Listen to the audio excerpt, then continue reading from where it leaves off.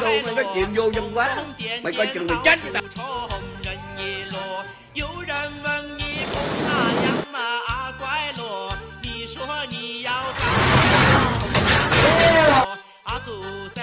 Yeah.